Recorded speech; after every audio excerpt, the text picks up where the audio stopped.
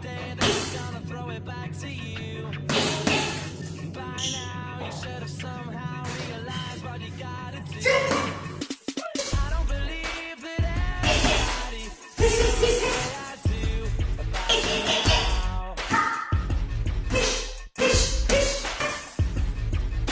do.